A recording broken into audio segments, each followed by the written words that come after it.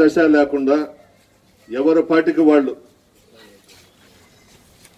వ్యవహరిస్తూ రాష్ట్రాభివృద్ధిని రాష్ట్ర ప్రజలను గాలి కొదిలేశారు.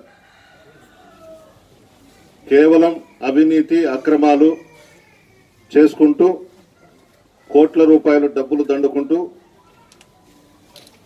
రాష్ట్రాన్ని అవినీతి ప్రదేశంగా మార్చేసిన ఘనత చంద్రబాబుకి మంత్రులకి ఎమ్మెల్యేలకి దక్కింది. కాంగ్రెస్ పార్టీ రాష్ట్ర ప్రధాన కార్యదర్శి మాజీ శాసనసభ్యులు నల్లపరెడ్డి ప్రసన్న కుమార్ రెడ్డి గారు నిన్న మొన్న ప్రజలు గుర్తుకొచ్చి కోవూరులో పర్యటిస్తున్నారు. ఇంకా ఎన్నికలు దగ్గర వచ్చాయి కాబట్టి ఇప్పుడు ఆయన ప్రజలు గుర్తుకొచ్చారు. కాబట్టి ఇప్పుడు అన్ని ప్రాంతాల్లో తిరుగుతూ చంద్రబాబు నాయుడు గారి పైన తెలుగుదేశం పార్టీ పైన లేనిపోని విమర్శలు చేస్తున్నారు. జన్మభూమి కమిటీలు ఏర్పాటు చేసి నరకం చూపించారు ప్రజలకి. మనం అధికారంలోకి వస్తున్నాం. దీంట్లో ఇంకొక ఆలోచన లేదు.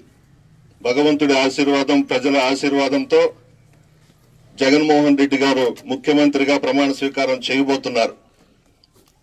మనం ఈ నాలుగున్నర సంవత్సరాలలో తెలుగుదేశం పార్టీ నాయకులు కార్యకర్తలు వన్ సైడ్ వెళ్ళిపోయినారు ప్రజలు నరకం చూశారు. వాళ్ళు ఇష్టారాజ్యంగా ప్రవర్తించారు గ్రామాల్లో. జన్మభూమి కమిటీలు అయితే ఇళ్ళు శాంక్షన్ చేస్తే ఒక్కొక్క ఇంటికి డబ్బులు. ఇళ్ళ స్థలాలు కేటాయిస్తే దానికి డబ్బులు. పెన్షన్కి డబ్బులు. గబ్బు పట్టించేశారు ప్రజాస్వామ్యాన్ని గ్రామాల్లో రాష్ట్రంలో. భ్రష్టు పట్టించారు. అందువల్ల దీనికి పులుస్తా పెడదాం. గతంలో రాజశేఖర రెడ్డి గారు కూడా ముఖ్యమంత్రిగా చేస్తే పార్టీలకు అతీతంగా పనిచేశాడు. ఎవరు వచ్చినా పెన్షన్ ఇవ్వమన్నాడు ఎవరు వచ్చినా ఇళ్ళు ఇవ్వమన్నాడు ఎవరు వచ్చినా ఇళ్ళ స్థలం ఇవ్వమన్నాడు. అంతేకాదు ఆ రోజు నుంచి మళ్ళా నువ్వు చంద్రబాబు నాయుడు గారి నాయకత్వంలో పనిచేశావు. చంద్రబాబు నాయుడు గారిని నువ్వు పొగిడినట్టుగా ఈ జిల్లాలో ఎవ్వరూ పొగడలేదు.